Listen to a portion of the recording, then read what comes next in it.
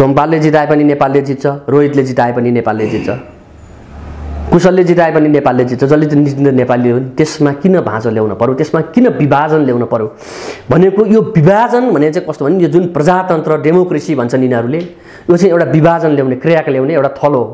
यो तरिकामा सोमपालजी चाहिँ पहिल्यै आइसक्नु भएको थियो र उहाँलाई मेघराज निरौला त्यहाँ चाहिँ पण्डित मेघनाथ नेउराले चाहिँ टिका लगाइदिइसक्नु भएको थियो र उहाँ चाहिँ त्यो त्यहाँ जुन भएको चाहिँ शिवलिङ्गमा जल अर्पण गर्ने र त्यहाँ पूजाआजा उहाँले गर्नुभयो। र त्यस कारणले पछिचोटि आउँदाखेरि उहाँलाई चाहिँ त्यो प्रसाद मात्रै नैवेद्य मात्रै दिएको थियो। किनभने प्रसाद त टिका त दोहोऱ्याएर लगाइँदैन होइन? लगाउनु त लगाइन्छ तर एकै क्रममा जुन एकचोटि लगाइसकेको भएको कारणले उहाँलाई पछि प्रसाद मात्रै दियो। तर स्वतन्त्रताको नाममा धर्मनिरपेक्षताको नाममा चाहिँ यहाँको रहेको परम्परागत वैदिक सनातनीहरूमाथि चाहिँ प्रहार गर्ने क्रम रोकिएको छैन यो बढ्दो छ। मा भएको वर्ण व्यवस्थालाई जात व्यवस्था भनेर प्रचार गर्छन्। यो अत्यन्तै यो बुझ्नुपर्ने कुरो छ। विशेष गरी हिन्दूहरूले र गैर हिन्दूहरूले पनि यो बुझ्नुपर्ने कुरो के हो भने नेपाल अ, मा अ, र संसारमै जुन वैदिक सनातनीहरूको ग्रन्थहरूमा छ त्यसमा चाहिँ यो जात व्यवस्थाभन्दा पनि वर्ण व्यवस्थालाई चाहिँ कर्मलाई आधार मानेर गोत्रको व्यवस्था छ। गोत्र व्यवस्था चलिआएको छ। जुन गोत्र भनिन्छ सहगोत्रीमा बिहेबारी नगर्नु सहगोत्रीमा गोदान नगर्नु सहगोत्रीमा वर्ण नगर्नु भनेको छ। यो भनेको मतलब के त? सहगोत्री तिम्रो आफ्नो दाजुभाइ हो सहगोत्रीमा बिहे नगर्नु। हिन्दू धर्म मान्ने धर्मगुरुहरूले अथवा उच्च भनिनेहरूले आफ्नो फाइदाको लागि मानिसलाई सानो ठुलो बनाए तर त्यो बिल्कुलै गलत हो। यो कुराहरूको खण्डन आजका पण्डितहरूले गर्नुपर्छ आजका पुरेतहरूले गर्नुपर्छ। शास्त्रले त सहगोत्री दाजुभाइ भनेको छ त।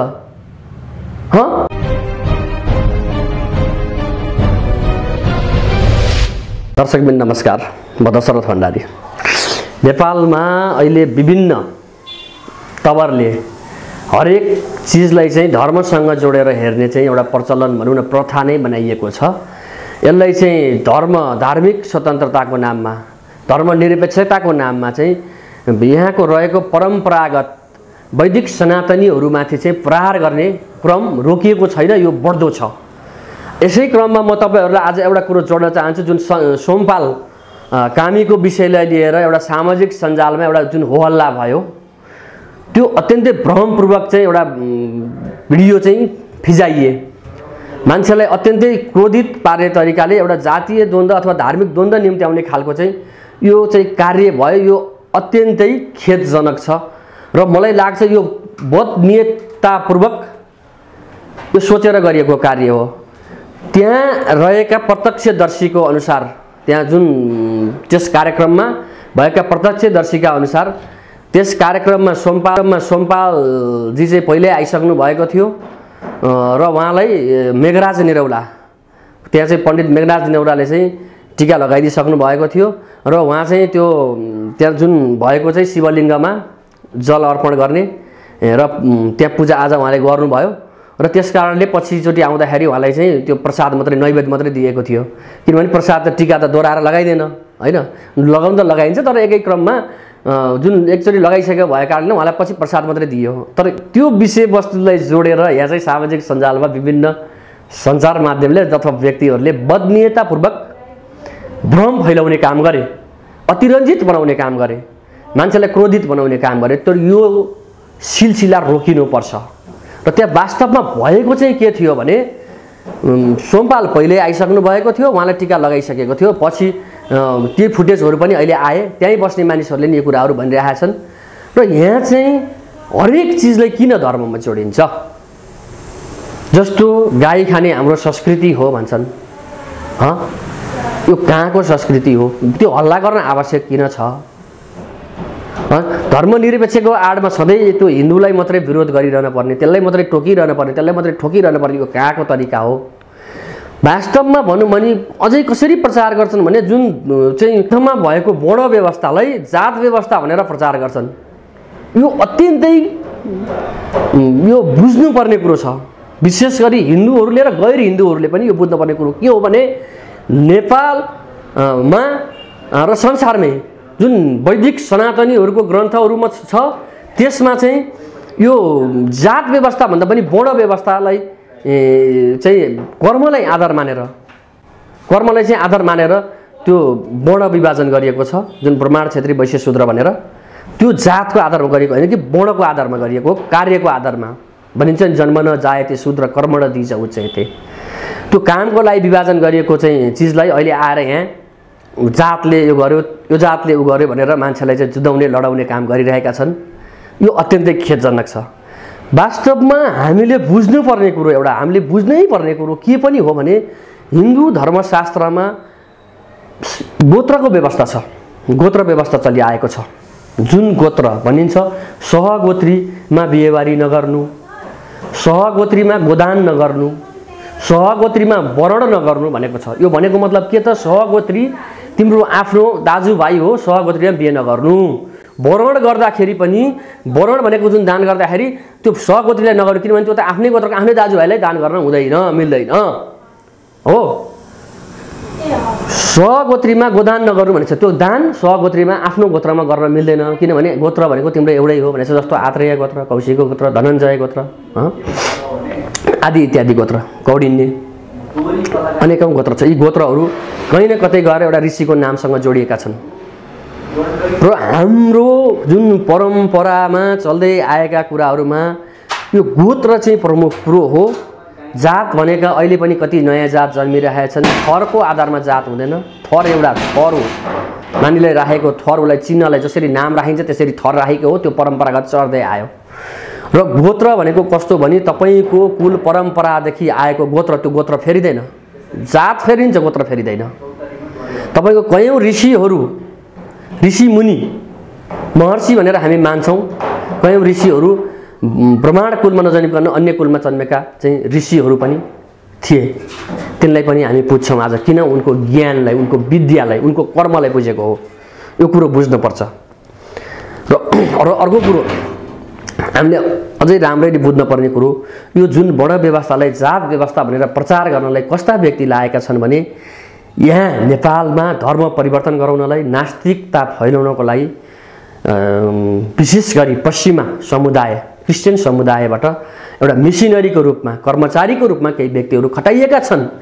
तिनले बारम्बार यी यस्ता कुराहरूलाई जुन कुराले समाजमा बिथोल छ ती कुराहरूलाई उचाल्ने तपाईँलाई म एउटा कुरा जानकारी गराइदिन्छु मेरो गोत्र कौशिकको गोत्र हो। म एउटा छेत्रीको छोरो म भण्डारी थरले मेरो भण्डारी। मेरो थर भण्डारी हो म एउटा छेत्रीको छोरो हो।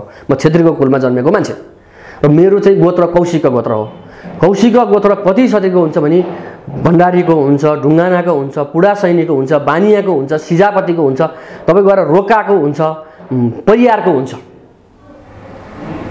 जुनलाई अहिले चाहिँ दलित आदिवासी के के भनेर छुट्याएका छन्?